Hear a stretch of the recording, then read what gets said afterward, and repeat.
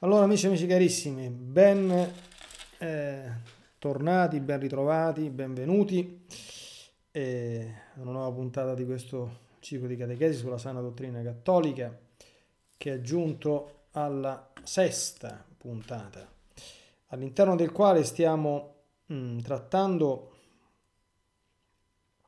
in questo momento il primo comandamento. Il primo comandamento è un mare sconfinato, perché abbiamo visto quando l'abbiamo introdotto che è uno dei comandamenti, come dire, non troppo ben identificati e a volte un po', un po' poco considerati, cioè sembra quasi che non esista e non si ha sempre chiaro in coscienza, salvo le cose insomma più macroscopiche, quali sono i peccati contro il primo comandamento, eppure ce ne sono veramente tanti, insomma. No? Quindi diciamo che questo costituirà un pochino la, la, piattaforma per poi spaziare un po' per varie, per varie tematiche, no? perché approfondendo bene il primo comandamento si aprono vari orizzonti. Per esempio, presumo che dopo le cose che ci diremo questa sera sarà poi il caso di fare un excursus mh, approfondito, diciamo, da un punto di vista dottrinale sui sacramenti della penitenza e dell'Eucaristia. Perché? La volta scorsa abbiamo visto il peccato di idolatria, quindi abbiamo parlato degli idoli del mondo, le tre S, ricorderemo il sesso, sesso soldi e successo, poi nella variante delle tre P, piacere, possedere e, e potere. E abbiamo soprattutto visto la sottile insidia dell'idolatria anche delle persone diciamo così, in qualche modo, virgolettata, spirituali, ecco, delle persone che ci aiutano nel nostro cammino. E tutte quante le persone spirituali devono imparare, eh, come dire, a, da San Giovanni Battista. Lui deve crescere e io diminuire. Devono impararle anche le persone che seguono le persone spirituali. E e soprattutto abbiamo visto che le persone spirituali devono farlo mettere bene in testa a chi in qualche modo, tra virgolette, le segue, avendo sempre un modello San Giovanni Battista. Perché è vero che a volte le persone idolatrano si attaccano, ma è anche vero che certi comportamenti eh, a volte sono provocati, a volte sono indotti, a volte sono eh, stimolati, a volte sono accettati, a volte sono tollerati, nessuno di questi comportamenti deve starci eh, in chi è un autentico, come dire, ministro, servo del Signore. Eh, perché mh, tutti quanti noi siamo meno che nulla e, e, Dio è molto molto offeso da questo peccato. Non, non, non, non sottovalutiamo, non pensiamo, cioè, vabbè sì, ho un rapporto un po', un po' troppo così con quella persona, insomma, però tutto sommato, cioè di peggio, no? Mm, a, a, quello che ho potuto imparare, oltre che conoscere, Dio è molto offeso da questo peccato. Quindi bisogna, perché eh, Dio non cede ad altri la sua gloria, si legge nella Sacra Scrittura. Eh? Io sono il Signore, non darò ad altri la, la, la mia gloria. E quindi attenzione, attenzione, attenzione. Allora, un altro grande ambito, diciamo così, di eh, attenzione che apre la tematica del primo comandamento è che se io, torniamo all'inizio, io sono il Signore tuo Dio, al Signore, a Dio è dovuto, l'abbiamo visto, il culto di latria. Abbiamo concluso così la volta scorsa. Quindi il culto di latria, cioè l'adorazione, non va dato a un eidolon, d'accordo? Quindi a un simulacro, a una statua, d'accordo? Una statua reale oppure una statua, cioè chi ho messo nel piedistallo del mio cuore al posto di Dio, questo è l'idolo, ma va dato al Signore e al Signore il culto va dato e come? E il culto va dato interiormente ed esteriormente e il culto di latria significa adorare. Adorare. E che significa adorare? Sappiamo che l'adorazione, diciamo così, per noi che abbiamo la grazia inestimabile di essere non solo cristiani ma anche cattolici, eh, perché quindi avere la, la, pienezza, per grazia di Dio, non, certamente per merito nostro, insomma, sia della conoscenza della verità, sia della la, la pienezza dei mezzi di grazia e la retta conoscenza e dottrina sui mezzi di grazia, oltre che la loro presenza. Noi abbiamo l'Eucaristia. La Chiesa Cattolica custodisce l'Eucaristia. Diciamo che l'unico luogo, diciamo così, esterno alla Chiesa Cattolica in cui si custodisce con certezza l'Eucaristia è la Chiesa Ortodossa, che non ha rotto la successione apostolica. Così stava anche la, la, Chiesa anglicana, ecco, ma come ebbe, ho avuto modo di dire San Giovanni Paolo II, insomma, con la missione al sacerdozio delle, delle donne la, la, cosa si complica, ecco, semplicemente perché questo può non piacere a qualcuno, insomma, eh, a, a chi pensa che la Chiesa debba aggiornarsi alle evoluzioni culturali del tempo, ma come spiegò San Giovanni Paolo II, qui non è un problema di promozione del ruolo della donna o meno, d'accordo? La Chiesa non ha il potere di ordinare una essere di sesso femminile prete. Quindi quello che San Giovanni Paolo II spiegò è questo così sarà, cioè facciamo un'ipotesi per assurdo, cioè non succederà mai, io credo, una Chiesa cattolica, ma se dovesse succedere sarebbe la fine, perché se un vescovo impone le mani sulla testa a una donna, battezzata, è battezzata come, come, come lo sono io, quella donna prete non ci diventa, d'accordo? Perché eh, per volontà di Dio il soggetto che deve ricevere questo sacramento è un battezzato di sesso maschile. Ecco la, la, la piccolezza anche degli uomini di chiesa anche delle autorità della Chiesa. Sapete che il, uno, il titolo più grande che si può dare il pontefice, il più eccellente è il vicario di Cristo, ma quello proprio che esplica il servo dei servi di Dio. Un vescovo è un servo, eh? Io sono un servo. Il Papa è un servo, cioè noi serviamo tutti quanti il Signore, eh? cioè nessuno di noi è più grande del Signore, questo, cioè, mi raccomando, insomma, no? Siamo tutti quanti al servizio. E quindi non esiste nessuna autorità che può scavalcare, io, cioè, non è che la Chiesa potrebbe inventarsi un giorno, d'accordo, ah, i sacramenti sono otto, i sacramenti sono sette, d'accordo, oppure l'Eucaristia la celebriamo con eh, il pan di Spagna e la Coca-Cola.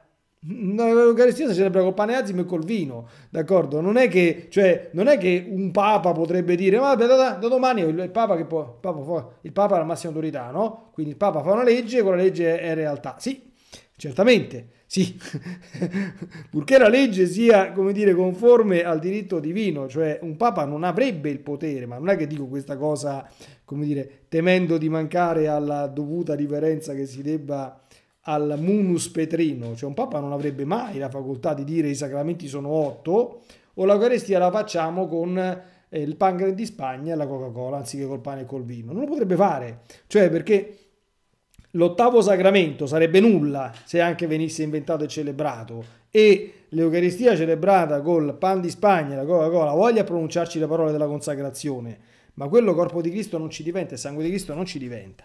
Così se tu ordini prete una donna, quella, quella, quella prete non ci diventa, non è una cosa che, che, che capito, cioè non si tratta di progresso, di non progresso, cioè chi concepisce il progresso femminile alla femminista, cioè eh, progresso e emancipazione della donna uguale, assunzione progressiva di tutte quante le facoltà che un tempo erano soltanto riservate agli uomini. Fino a quando non c'è questo livellamento assoluto, questa interscambiabilità assoluta, non c'è una vera pari dignità.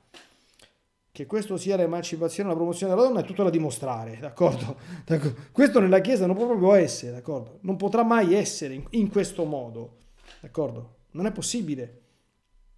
È come chi nella Chiesa, senza chiamare in causa le nostre care eh, amiche, sorelle, madri, donne, eh, come i laici che concepiscono la promozione del, del laicato come la, la progressiva come dire, assunzione di compiti un tempo solo clericali.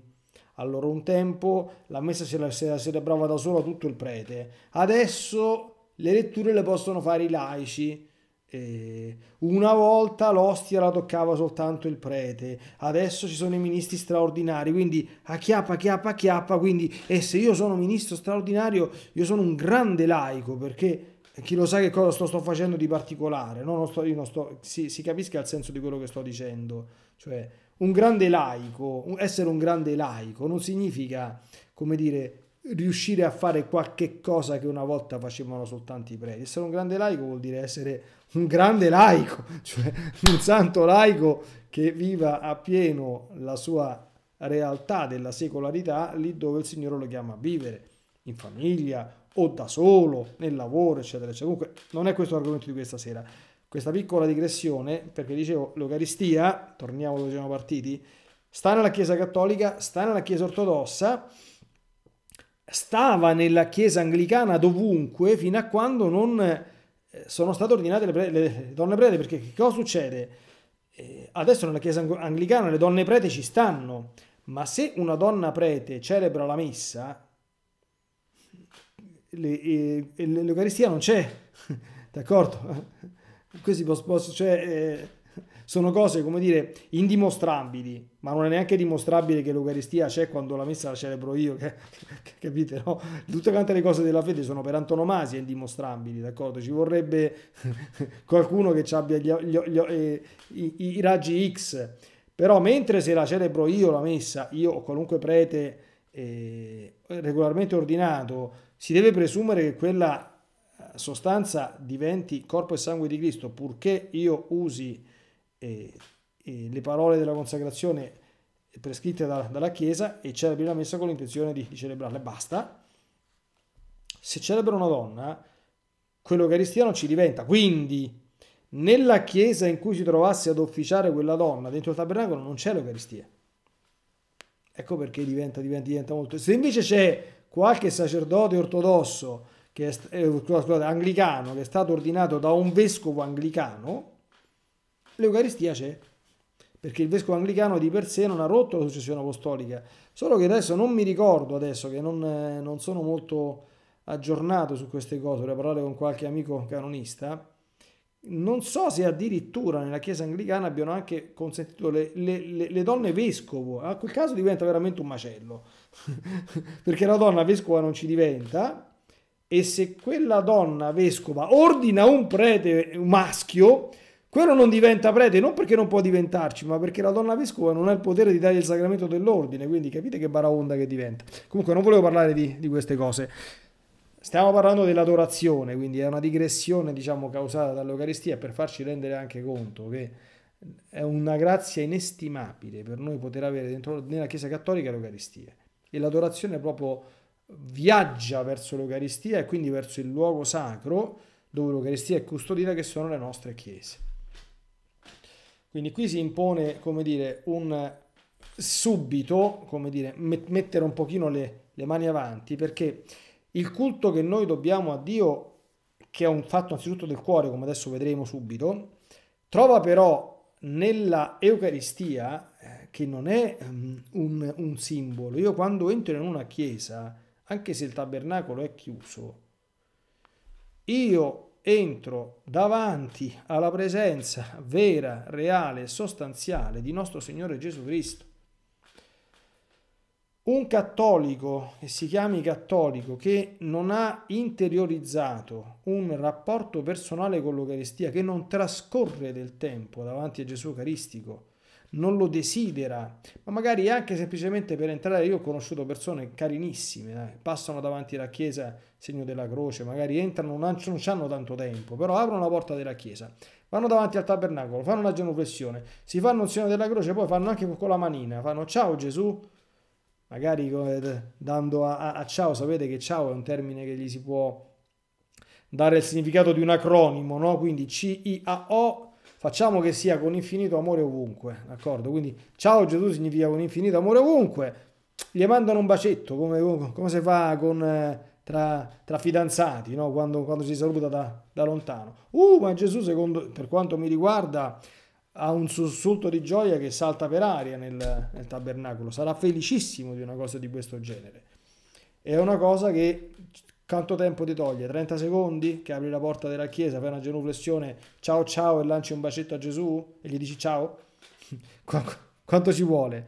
Quindi non è, dice, sai, eh, ma io l'Eucaristia non ho tempo, non ho qua, c'ho un sacco di impicci, per carità, cioè nessuno deve fare i salti mortali, ma mh, non sempre occorre fare tanto, d'accordo? E non tutti possono fare tanto, ma occorre fare bene, d'accordo? Noi, cioè, proviamo un attimo a, a fare una follia, no? Mettiamoci nei panni di nostro Signore Gesù Cristo, cioè proviamo a dire, ma io sono Dio, d'accordo? E mi faccio piccolo piccolo e mi sto rinchiuso dentro una scatoletta di ferro, insomma, piantata dentro un muro. Perché? Per noi, perché non sta, non sta lì mica, mica, mica per se stesso, ma sta lì per noi. Allora, che tipo di rapporto ci abbiamo noi? D'accordo? Qui siamo proprio, con l'Eucaristia siamo proprio al cuore della fede divina e cattolica, proprio al cuore. Eh, cioè, eh, il nostro rapporto con l'Eucaristia è tutto, d'accordo? È, è proprio, cioè, si gioca tutto qua, ci giochiamo tutto, di tutto e di più. E quindi l'Eucaristia ci dà anche un'occasione straordinaria di esercitare il nostro senso interiore di adorazione. Che cos'è l'adorazione? Etimologicamente adorazione, l'ho detto tante volte, lo troverete anche in altre catechesi, anche in altre omelie, adorazione ha un'etimologia che viene chiaramente dal latino, che comporta tre termini. Il termine ad, che esprime una particella che in latino esprime moto al luogo, cioè tendere verso qualcosa. Poi c'è os oris, adorazione. Os oris significa bocca in latino e axio che significa azione. Allora, ci sono due possibilità, sono tutte e due vere, quindi sarebbe l'azione della bocca A, d'accordo? Quindi l'azione della bocca A che significa? Significa che la bocca quando adora si prostra e parte verso terra. Voi sapete che un gesto grande di adorazione, estremo di adorazione, che era praticato in certi monasteri, eh, era che quando si entrava in chiesa si faceva l'azione della croce e poi si baciava la terra. Quel gesto, che è un gesto estremo, quindi è, vuol dire non soltanto mi metto in ginocchio, ma mi prostro, quindi giungo a abbassare il capo fino a terra e bacio la terra come se volessi baciare i piedi di Gesù, quindi il gesto proprio estremo, d'accordo? Cosa facevano quelli che adoravano Gesù quando lo incontravano, i grandi adoratori? Si prostravano e gli baciavano i piedi. È un gesto proprio estremo questo qui. Quindi portare la bocca ma anche azione alla bocca. Quindi portare alla bocca. Qui bisogna fare un gesto che eh, chi sentirà il podcast non, non, lo vede, chi vede il video magari lo vede, perché portare alla bocca è portare la mano alla bocca, cioè mettere la mano davanti alla bocca. Noi ci mettiamo la mano davanti alla bocca non soltanto quando tossiamo o quando sbadigliamo, insomma, no? Eh, oggi, oggi, che tossiamo, qua che non, non ci mettiamo la mano davanti alla bocca, ma ci mettiamo la mano davanti alla bocca anche, anche quando dobbiamo esprimere lo stupore, che facciamo mamma mia, no? E ci mettiamo la mano davanti alla bocca, quindi c'è un'espressione di un enorme, come dire, stupore per il senso della grandezza di qualche cosa di immenso che ci sta dinanzi. Ecco, questa è una espressione plastica, diciamo così, che esprime molto bene il senso dell'adorazione cristiana, cioè io sto davanti a Dio. Ora attenzione che l'adorazione, come dice San Paolo, non è cosa riservata soltanto al Tempio, anche se come vedremo il Tempio ci educa all'adorazione continua. Gesù dice voglio che adorate il Padre in spirito e verità, non sul Monte Carizimo a Gerusalemme. San Paolo scrive adorate Cristo nei vostri cuori, pronti sempre a rendere ragione della speranza che è in voi. L'adorazione è quel vivere, diciamo così, sotto gli occhi di Dio, riconoscendolo e avendolo sempre presente, appunto come Dio e come Signore, a cui io desidero incessantemente, ininterrottamente conformare il mio pensiero, il mio agire, le mie parole, no? Facciamo subito un esempio grossolano. Una persona che dice una volgarità, ma sta adorando Dio nel, nostro, nel proprio cuore? Io invito sempre a farsi domande, d'accordo? Perché quando ci facciamo le buone domande davanti a noi stessi, Cioè, una persona che mm, dice una volgarità, ma questa volgarità tu potresti dirla sotto gli occhi di Dio. Cioè, se tu ci avessi Gesù Cristo in persona davanti che ti sta guardando, tu diresti una volgarità, sì o no? Penso che sia una domanda retorica, no? Eh. Ma noi dobbiamo, noi dobbiamo ricordare che Dio non è che diventa cieco o sordo, cioè noi siamo presenti a Dio ininterrottamente. Quindi nella misura in cui io acquisisco lo spirito dell'adorazione, Gesù dice adorate in spirito e verità. Verità significa che si adora soltanto colui che deve essere adorato, cioè io adoro Dio e nessun altro al di fuori di lui, questo l'abbiamo visto parlando dell'idolatria. Ma adorare in spirito che vuol dire? Che il mio spirito è sempre in atto di adorazione, ha lo spirito di adorazione che trova chiaramente quando mi trovo alla presenza per antonomasia dell'Altissimo, noi abbiamo la grazia di poterlo vivere nelle nostre chiese dove l'Altissimo c'è nella persona di Gesù presente nell'Eucaristia, lì, come dire, è il clou, ma non è che esco dal Tempio e è tutto finito, no, perché l'adorazione è qualcosa che pervade completamente tutta la vita di un credente. Se io sto per fare una scelta di vita importante e mi confronto e cerco di discernere la, qual è la volontà di Dio, io lo sto adorando, d'accordo? Perché sto dicendo, senti signore mio, io sono un poveraccio, non capisco niente, non mi fido tanto delle mie ristrette vedute o della mia eh, presunta funzionante intelligenza o della mia piccola volontà, dammi una mano, fammi capire cosa vuoi, d'accordo? Questo è dare a Dio l'adorazione che gli è dovuto e dare a Dio la gloria che gli è dovuto, perché è veramente così. Se tutti gli uomini facessero questo, saremmo, la terra sarebbe un giardino, sarebbe, sarebbe, sarebbe, un posto meraviglioso. Non purtroppo il regno, del, il regno degli orrori, come molte volte purtroppo la trasformiamo, no? Quindi l'adorazione è dare a Dio il culto che gli è dovuto, quindi questo primato che gli riconosco nel cuore viene poi espresso con degli atti propri. Qual è l'atto, diciamo così, religioso che esprime l'adorazione per antonomasia? È il sacrificio. Questo è proprio in tutte, anche nelle religioni pagane, che facevano anche delle aberrazioni con, con i sacrifici, no? Cioè a Dio si dà qualche cosa, quindi si sacrifica qualcosa per Lui, qualcosa di importante, qualcosa a cui io tengo, con quale fine?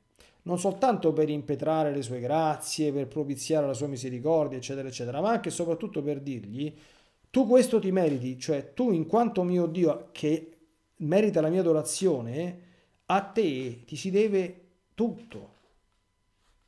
Esempio, chi è il martire? Il martire è colui che offre a Dio in sacrificio cosa? Se stesso. Cosa ha fatto Gesù sulla croce?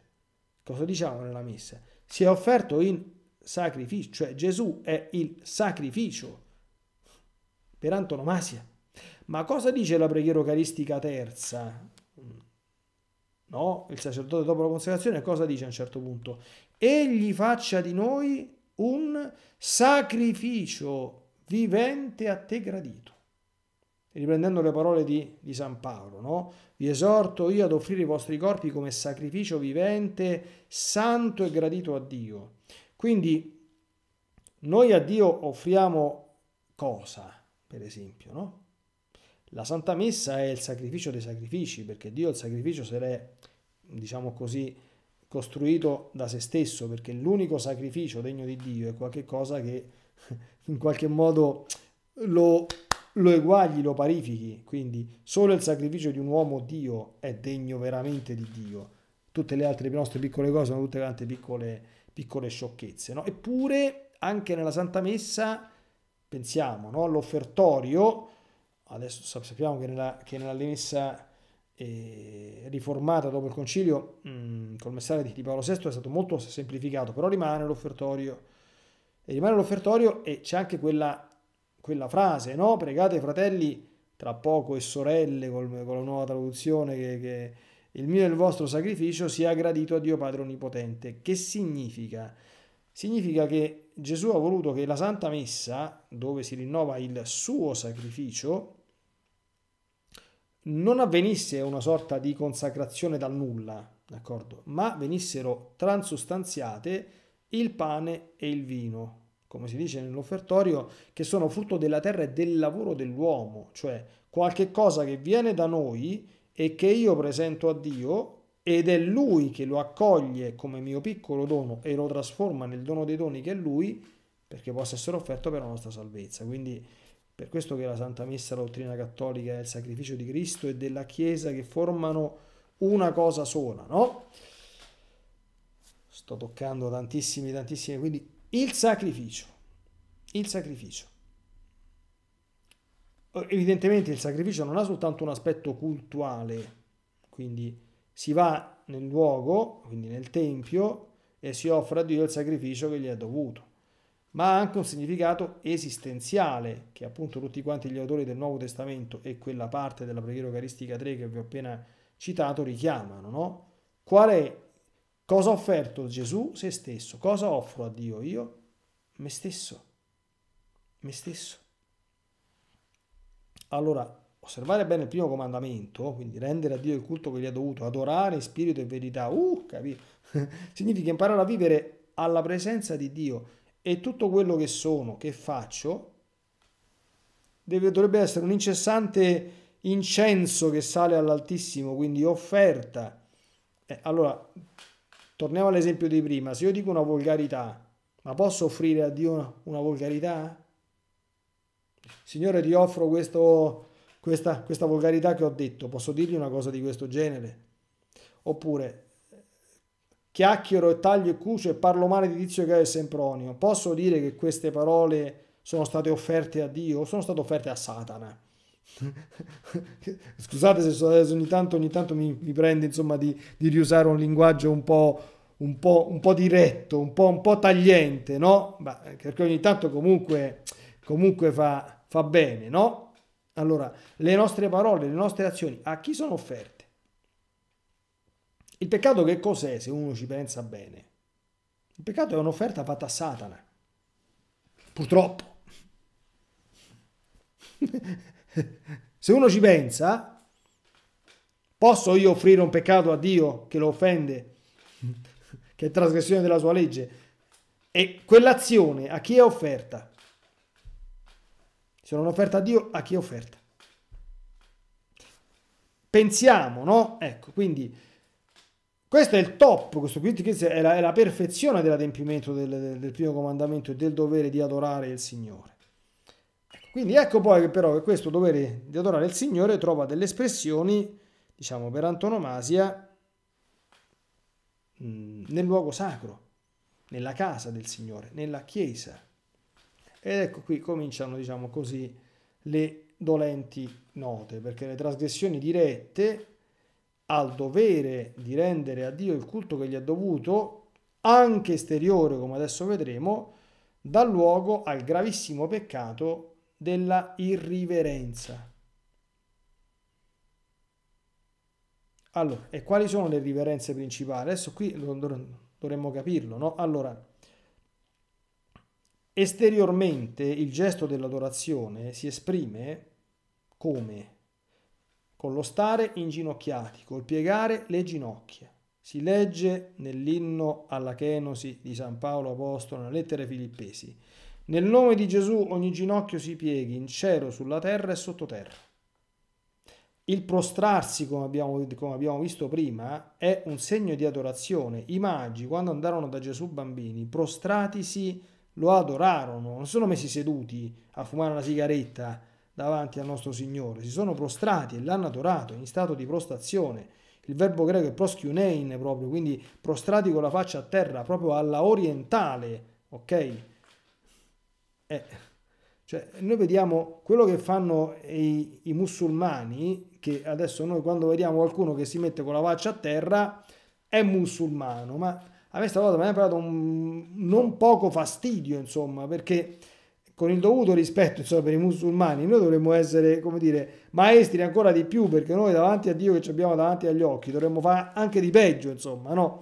Adesso, capite, sto parlando in maniera iperbolica, adesso non è che uno entra in chiesa perché non si possono fare questi gesti, d'accordo, che, che, che, che sarebbero fuori luogo. No? Quindi nella Chiesa latina però il gesto esteriore con cui si esplica l'adorazione è il piegare le ginocchia. Quando si incrocia il tabernacolo si fa quella che si chiama la genuflessione. Non è una cosa opzionale. Allora il prete quando passa davanti al tabernacolo si fa la genuflessione ma quello è prete. Se ci passo io fa niente. Ma che te fa niente fai come cioè non è che l'adorazione è una cosa che la fa il prete perché l'ha detto come dire è il funzionario del tempio Ah, io invece sono, non sono funzionario, sono un laico e quindi ho la dispensa. Non, non, non c'era nessuno questa, questa dispensa. Cioè, il piegare le ginocchia è proprio un atto interno ed esterno di professione di fede nell'Eucaristia. Siccome lì dentro c'è Dio, non c'è Pinco Pallino. Lì dentro c'è Dio. Allora, se io non piego il ginocchio, posso dire che ci credo veramente che lì dentro c'è Dio? Ma come stanno gli angeli davanti alla maestà divina che vedono e che adorano?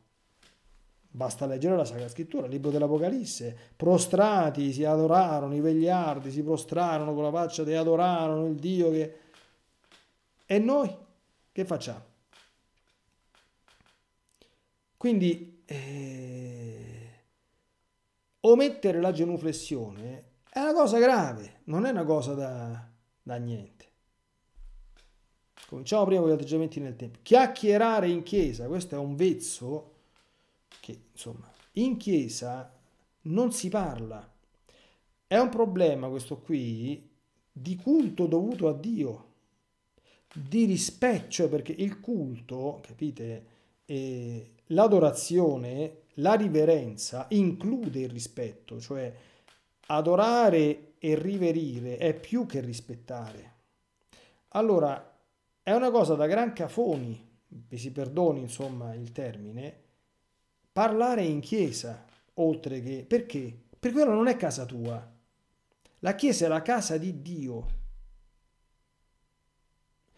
In quanto casa di Dio, a che serve? Serve a parlare con Lui, cioè tu lì, tu entri in chiesa per metterti alla presenza del Signore.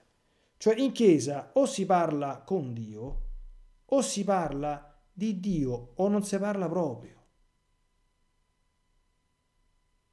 D'accordo? La Chiesa non può diventare il luogo, come dire, della chiacchiera. Non si può. Non è un peccato come se io mi faccio, eh, come dire, mi mangio, mi mangio una caramella, faccio un piccolo peccato di gola. È una cosa grave. Capito? Quella non è casa tua. il vezzo che ci sta oggi, che a me racconta un sacco di cose, che nelle chiese terminate le cerimonie, le celebrazioni succede il pandemonio, il finimondo, come dire, è un segno dei tempi, cioè è un segno della fine dei tempi, oserei dire io, insomma, no? Cioè, non va bene questa cosa qui. E se è vero che qui sono chiamati a volte in causa, anche siamo chiamati in causa noi pastori perché dobbiamo aiutare le persone a interiorizzare queste cose, vero è anche che c'è un compito anche da parte del singolo fedele, perché noi non possiamo per, per rispetto umano, per quieto vivere, siccome lo fanno tutti, perché adesso anche su queste cose passa, diciamo così, all'interno del Tempio, lo fanno tutti, quindi se non lo faccio io e poi mi guardano come una persona che so strana, eccetera, eccetera. Non si fa quella cosa lì. Non si fa. E se qualcuno mi prenderà in giro, essere perseguitati o derisi per amore di Gesù e del Vangelo, ce l'ha detto lui, è fonte di gioia. Beati voi quando vi insulteranno, vi perseguiteranno e diranno ogni sorta di male contro di voi per causa mia. D'accordo? Senza mancare alla carità, quindi se, se possibile, insomma, senza offendere nessuno, senza andare a mettersi a fare, cioè, eh, uscire di questo genere, no? Perché poi cioè, una persona eh, mi parla e io, come dire, magari sottovoce dico, senti per favore, capito? Cioè, ci sono anche delle, delle tecniche, no? Cioè, una, una persona in chiesa viene e ti parla ad alta voce per non mortificarla, perché noi dobbiamo amare il Signore, ma c'è anche la carità fraterna, certo viene prima l'amore del Signore poi l'amore del prossimo. Allora una persona ti si mette a parlare ad alta voce, tu gli rispondi sottovoce, così già capisce, senti, se magari usciamo un attimo, se dobbiamo fare due chiacchiere, cioè, quindi glielo dici delicatamente e, e così senza rimproverarla direttamente, che rimprovero diretto è sempre una cosa brutta, però gli hai trasmesso, eh, gli hai trasmesso qualcosa, no? Quindi questa è una cosa importante, cioè eh, i peccati commessi sono sotto, cioè eh, le, le, mancanze di, le irriverenze dovute al eh, trascurare la presenza del padrone di casa, il tabernacolo è la, è, la, è, la, è la, prima cosa, quando si passa davanti al tabernacolo non si passa di lungo, come si dice, d'accordo? Si genuflette, non si chiacchiera come se fosse un mercato, si parla con Dio o di Dio. Poi c'è un'altra cosa, la terza, tra le riverenze, ci sono le, le riverenze liturgiche. Durante la consacrazione, io mi sto leggendo adesso le rubriche, anche della nuova traduzione del Messale, anche con gli adattamenti della conferenza episcopale, stare in ginocchio rimane obbligatorio, è obbligatorio, non è facoltativo, per, almeno per il tempo della consacrazione, cioè da quando il sacerdote stende le mani al mistero della fede. Devo vedere bene ancora le nuove rubriche perché eh, in quelle antiche c'era scritto che se da qualche parte si era conservata ancora la lodevole consuetudine di rimanere in ginocchio per tutta la preghiera eucaristica, si poteva lasciare, quindi certamente perché il più, come dire, è meglio del meno, ma quel meno è indispensabile. Cioè una persona che non si inginocchia durante la consacrazione, a meno che, per carità, non ci abbia l'artrosi o la condrite, io ho sofferto di condropatia, insomma, c'è una paura quando, quando ho sofferto di queste cose, dico, ma non è che non mi posso inginocchiare più, cioè, eh, d'accordo, quindi se una persona sta male, ha problemi fisici, o è anziano, non ce la fa, è evidente che la necessità non, ma una persona che potrebbe, perché non ti inginocchi? Ti vergogni? Ma noi non ci, non ci dobbiamo vergognare di adorare nostro Signore, noi dobbiamo fare a gara nell'umiliarci davanti al Signore. Pensiamo a quello che fece Davide, re Davide, altro episodio biblico, quando tornarono portando l'arca dell'alleanza, che Davide si era messo eh, rimanendo coperto soltanto con l'efod, a saltare e a danzare davanti all'arca dell'alleanza. E c'era una donna, Davide insomma era un grande uomo, insomma, quindi era un re, era anche come dire un grande uomo inteso in senso virile, no? Ma lui si è umiliato, si è mortificato davanti al Signore e c'è una donna, si chiama Michal, mi sembra se non ricordo male, che gli dice, ah, bella figura che ha fatto il re che si è messo a saltare, a danzare come farebbe una persona da nulla. E Davide gli ha risposto, dice, che è? Ah, siccome tu hai detto così, la prossima volta faccio peggio. Dico, dico cioè, capito? Cioè, noi non, non, non, non, non ci sta niente da, da vergognarsi, perché si deve vergognare chi rifiuta di rendere a Dio il culto che gli è dovuto, noi siamo fieri di farlo, d'accordo? Ecco. Eh... Non parliamo degli esempi dei grandi santi, tipo San Luigi IX, re di Francia, insomma, quando gli portavano il, l'inginocchiatoio regale, dice leva, leva, io posso tranquillamente stare inginocchiato per terra, che davanti a me c'è, c'è, il mio Dio che è morto in croce, figurati se a me mi serve l'inginocchiatoio regale imbottito, no? Quindi beh, non, si crede, non si chiede sempre tanto zelo, insomma, però ecco, questa è un'altra cosa, le cose liturgiche. Chi si fa la comunione durante la Santa Messa, questo è un mio leitmotiv, insomma, e non, non mancherò di sgolarmi fino a quando campo, se il Signore mi aiuta. Cioè, una persona che fa la comunione e esce subito dalla chiesa dopo aver ricevuto la benedizione, si metta in testa che commette una riverenza grave io questo l'ho detto, lo ripeto, non, non mi importa, cioè, eh, mi prendo la responsabilità di quello che dico, cioè, quindi sono pronto a, dire, a risponderne, a difenderlo dinanzi a chiunque, una cosa di questo genere. Cioè, tu c'hai Gesù Cristo nel cuore. Non è uno scherzo, non è un gioco. La presenza reale di Gesù è legata alla sussistenza delle specie. Le specie hanno dei tempi minimali per essere assimilati dal nostro stomaco, siamo proprio insomma abbastanza chiari. Cioè, se tu esci e dopo aver fatto la comunione ti porti Gesù a spasso in giro altro che riverenza ed orazione dovuta. Cioè, se tu, figlio mio, ti fai la comunione, c'è il tuo Dio nel cuore, non sai manco che dirgli, allora prendi il rosario e fatti la corona del rosario. D'accordo? dicendo al Signore guarda sono talmente un poveraccio, sono talmente freddo, sono talmente arido e perdonami, non so buono manca a dite a. E allora supplisco con la preghiera che tu mi hai insegnato e chiedo aiuto alla Madonna ad insegnarmi di qualcosa, ma non te ne puoi andare in giro. Capite?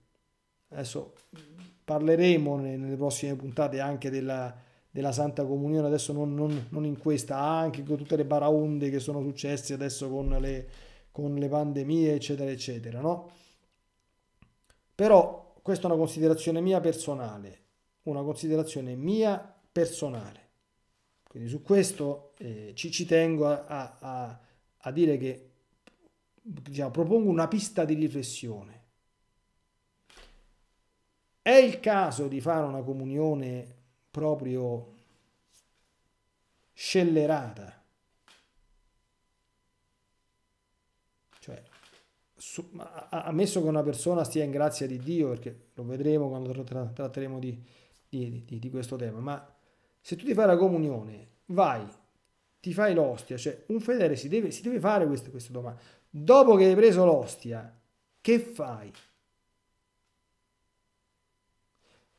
Cioè, noi dobbiamo imparare a vivere sotto gli occhi dell'Altissimo, cioè, che gli dice Gesù? Cioè, Gesù sta dentro di te come una persona viva, non sta lì, che fai tu?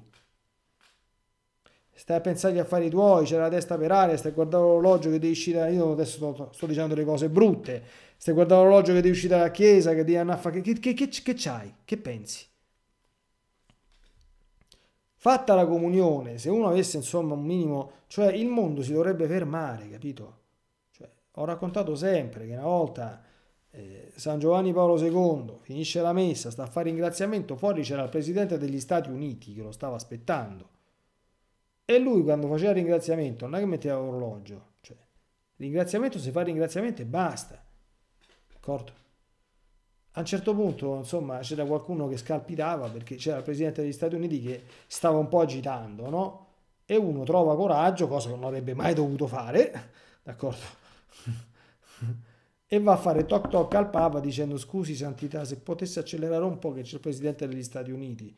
Il, padre, il Papa gli risposto il Presidente degli Stati Uniti può tranquillamente aspettare perché io sto eh, al cospetto del padrone del cielo e della terra che è un po' più grande del Presidente degli Stati Uniti, più grande pure di me. D'accordo? Quindi si aspetta un po' non succede niente, non succede. Capite? Cioè, se va a fuoco la casa, per carità, uno si, si, si, ma cioè, quello è un tempo... Non si deve toccare. Sta cosa bisogna impararla. Chi non l'ha ancora imparata, la deve imparare. Cioè, lo dico proprio col, col, col cuore.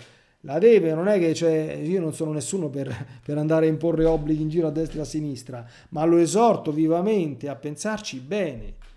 D'accordo? Perché nostro Signore, io sono sicuro che chiederà ai suoi figli, dico, ma, ma quando io stavo dentro il tuo cuore, ma che ho avuto da te? cioè non dico offrire a Dio i sacrifici, cioè mai hai detto una parola, mai detto una parola gentile, mai adorato, mai amato, mai lodato, mai benedetto, mai ringraziato, e mi hai parlato delle tue cose, mai, che, che ne so, cioè, poi ognuno, cioè, però non, non, possiamo, non si può, cioè, sono peccati da confessare questi qua, per quanto mi riguarda. Cioè, non solo ci ho fatto la comunione senza essermi confessato, questa è una cosa gravissima. D'accordo? Adesso concluderemo con un accenno ai, ai sacrilegi. Ma anche ho fatto la comunione buonanotte. Non si può. È un'irriverenza grave. Cioè, capite? Grave. Cioè, cioè pensiamo noi, cioè, capite? Se qualcuno entra dentro casa nostra, quasi quasi non dice manco buongiorno, no? E pia, eh, che ne so, se prende qualche cosa che, che, che gli serve e poi se ne esce senza manco di buongiorno. Cioè, noi a volte che succede? C'è qualche rivelazione privata. Mi ricordo una volta lessi una cosa che mi proprio trafisse il cuore, non mi ricordo dove. Gesù che diceva: Solo davanti a me è tutto lecito. Cioè, cafonate che gli uomini non farebbero nemmeno dinanzi alla persona più umile, insomma, perché sarebbero proprio mancanze proprio grezze. Davanti a me è tutto lecito. Ah, con me si può concedere qualunque cosa. Io ci rimasi quando lessi questa cosa, dico, ma tu guarda un po'. Perché non siamo abituati a interfacciarci con Gesù come una persona viva, una persona viva, divina, presente. Questo bisogna impararlo, questo qui. Questo bisogna impararlo assolutamente. Allora, quindi questa è tutta quanta la tipologia delle irriverenze. D'accordo? Attenzione alle chiacchiere in chiesa, le mancanze di genuflessioni davanti al tabernacolo, durante la messa, le mancanze di rispetto e di ringraziamento nei confronti dell'Eucaristia. Quando Gesù è esposto solennemente sull'altare, ci sono altre due piccole delicatezze da osservare. Due. Primo, quando si sta davanti all'Eucaristia, non si piega solo il ginocchio destro, perché lì Gesù è esposto si piegano tutte e due le ginocchia e si fa l'inchino profondo con la testa. C'è la doppia genuflessione, quindi con entrambe le ginocchia e con l'inchino profondo. E attenzione, cioè a Gesù esposto non si danno mai le spalle per nessun motivo. Eh. Che significa? Significa che se io devo uscire dalla chiesa e c'è il Santissimo Sacramento esposto, io non posso genuflettere, mi giro e me ne esco e ho il Santissimo alle mie spalle. Non si può fare. Quindi me ne vado in una navata laterale se è possibile e se no devo fare il passo del gambero. Capite? Cioè non posso dare le spalle a Domini Dio esposto. Cioè, capite? Noi queste cose dobbiamo assolutamente recuperarle. Non scarichiamo sempre io, io lo, lo, so perché mi parlano un sacco di persone, mi cominciano a dire che eh, il prete non gliel'ha insegnate, tante cose, da stessa, vabbè, cioè, vabbè. Adesso stasera l'hai sentite, d'accordo? Qualcuno te l'ha dette, quindi mettila in pratica se ci credi, d'accordo? Perché altrimenti eh, non stiamo sempre a... perché quello che io ho imparato è che se qualcuno desidera ricevere e conoscere la verità, il Signore gliela fa conoscere. Adesso usa pure queste diavolerie, insomma, dei, dei, dei, dei, dei, come si chiama, dei, dei social e dei mezzi di, di comunicazione sociale, che so diavolerie, però se uno le usa bene possono anche diventare eh, cose utili, no? Quindi stiamo qui per questo, insomma, per cercare di, di condividere un pochino eh, di sana dottrina cattolica. Oh, è chiaro che un altro dovere che noi abbiamo, ed è insito nel primo comandamento, nel dovere di rendere a Dio il culto che gli è dovuto, è che i sacramenti noi li dobbiamo ricevere. Non sono messi, come dire, eh, lì tanto per starci. Quindi vanno ricevuti. Colgo l'occasione, sto intravedendo qualche commento, c'è un, un'ulteriore, come dire, modalità di approccio al luogo sacro oggi, che è uno, i benedetti telefonini, diciamo benedetti, in chiesa devono stare spenti. E se Dio non voglia suona il telefonino, questo cioè io sono in difficoltà perché capite poi quando uno è parroco e vede delle cose sotto, sotto gli occhi diventa molto antipatico come dire andare a dire a una persona ma insomma no il telefonino si deve spegnere. E se Dio non voglia rimasto acceso, lo si deve prendere subito, si deve spegnere subito. Non è che il telefonino te esce e te ne vai a rispondere, magari durante la messa. Cioè, cioè, noi facciamo delle cose che uno non ci pensa, eh, però ma, cioè, è una cosa fatta bene. Cioè, il telefonino lì si spegne in chiesa. L'abbigliamento che si deve avere in chiesa, cioè, specialmente d'estate, cioè, si vedono delle cose veramente anche qui allucinanti d'accordo? Allucinanti. Cioè, avremo modo sicuramente, se vanno avanti questo ciclo di, di, catechesi, di spiegare bene alcune cose che riguardano eh, anche il vestire maschile e femminile. Ma insomma, un minimo di buon senso penso che cioè, no, scambiare la chiesa con una spiaggia, insomma, no? E, o andare proprio in maniera proprio improponibile e questo vale pure per gli uomini però perché non è soltanto per, per le donne cioè io ogni tanto ho dovuto cercare di far capire cioè ehm, c'è un abbigliamento che uno deve, deve, deve cioè tu ti ci presenteresti davanti al Papa in Bermuda e infradito pure se sei uomo non credo. E se, e, e se te presenti davanti al Papa in Bermuda e in Fradito sei in capone, d'accordo? Eh, cioè, che, che, che, eh, non, non credo che sia offensivo, non te ne rendi conto forse, magari cioè, hai un'estrazione che, che, non ti consente di interiorizzare certe cose, ma oggettivamente sei in capone. Cioè, ah, che ci vuole a mettersi un paio di pantaloni, un paio di scarpe? Non dico che uno deve andare col tight o con lo smoking, eh, o, o, peggio ancora con, con, con, con, le vesti di lusso che non si mettono né in chiesa né fuori dalla chiesa, no? Quindi, eh, però un minimo, eh, un minimo eh, ci deve essere, insomma, no? Un minimo di decoro da parte di tutti, cioè la chiesa è un luogo sacro, tu stai alla presenza di Dio. Cioè, eh, per noi esseri umani, cioè non è indifferente anche l'esteriore, perché noi non siamo puri spiriti, vestiti, come dire, di luce, con, non lo so come saranno vestiti i puri spiriti. Noi abbiamo gli abiti nostri. Quindi sono tutte quante cose che vanno... I sacramenti vanno anzitutto ricevuti e vanno ricevuti bene, questo poi è un capitolo che, che apriremo. Il sacramento della penitenza, il sacramento dell'Eucaristia, la messa, cioè rendere a Dio il culto che gli è dovuto per un battezzato significa anzitutto prendere e celebrare bene i regali grandi che Dio gli ha fatto. Non andare a messa la domenica, che fa parte del terzo comandamento, come dire, per certi aspetti e è già contenuto nel primo,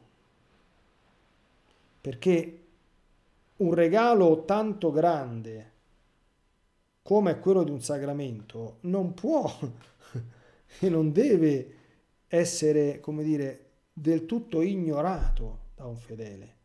Cioè, siamo le persone che stanno 10 anni, 15 anni senza confessarsi, persone che tranquillamente possono stare mesi interi senza affacciarsi in chiesa, senza andare a messa cose di questo genere, ma cioè, è una trascuratezza, eh, è una, come dire, assolutamente eh, negligenza grossolana, insomma, no? Grave. Con i sacramenti sappiamo che c'è il minimo e il massimo, c'è la legge della Chiesa che dice la confessione, ti confesse, confesserai i tuoi peccati al Signore almeno una volta l'anno e ti comunicherai almeno a Pasqua. Ecco, il santo curato d'Ars, quando diceva queste cose, che le diceva anche allora, perché bisogna dirle, c'è cioè comunque la legge della Chiesa, le diceva con le lacrime agli occhi, dice, ma ti pare, ma cioè, l'Eucaristia, la comunione è la cosa più grande e più bella che esista in tutto quanto l'universo. Cioè, io devo mettere a fare la predica che devi fare la comunione almeno una volta l'anno io morirei se non mi facessi la comunione tutti i giorni. Io condivido insomma questo, questo pensiero, non so come, come, come vanno le persone a, a, a campare senza messa e senza, e senza comunione, no? Però se uno sta in quel minimo, comunque sta dentro la legge della Chiesa, no? E... Ecco, quindi, però ci sono modi e modi, la comunione si può fare a livello settimanale, si può fare a livello quotidiano, la confessione si può fare mensile, si può fare ogni otto giorni, d'accordo? Poi apriremo una parentesi probabilmente nella prossima puntata su come si vivono bene i sacramenti, perché i sacramenti sono dei regali da parte dell'Altissimo, attenzione, sono dei regali che dobbiamo noi eh, ben accogliere e ben ricevere, perché sono doni grandi del cielo. E ad essi occorre adeguatamente disporsi altrimenti non c'è possibilità ecco, di trarre tesoro da essi. Bene, penso che sia il caso di aggiornarci, di chiudere. Speriamo di aver trasmesso qualcosa, insomma, ecco, eh, per quanto riguarda in questa, eh, questa puntata, di ciò che configura ecco, l'ampio peccato dell'irriverenza nella forma del negare a Dio il culto interiore ed esteriore che gli è dovuto. Ecco. E che il Signore e la Madonna ci aiutino ecco, a interiorizzare queste cose. È importantissimo quando si ascoltano queste, queste sollecitazioni che noi le prendiamo, ci torniamo e ci preghiamo perché la formazione di, morale di una coscienza, d'accordo, richiede la sua partecipazione attiva, cioè tu devi fare tuo un certo valore, motivartelo, esserne convinto, averlo radicato nel cuore. Ecco. Quindi vi prego, insomma, ecco, perché non dobbiamo semplicemente eh, stare alle cose che ci vengono dette, che hanno comunque la loro importanza, ma dobbiamo sempre fare in modo che quello che ci viene detto diventi nostro, no? Ricordiamo la fine del Vangelo della Samaritana. La Samaritana va, parla a tutti di Gesù e dopo loro gli dicono i, i samaritani, dice, guarda che non è che la tua parola che noi crediamo, ma noi crediamo perché abbiamo visto noi stessi chi è colui che è il Salvatore del mondo. Ok? Bene, detto questo, ci vediamo alla prossima puntata. Dio vi benedica, la Madonna vi protegga e Ave Maria.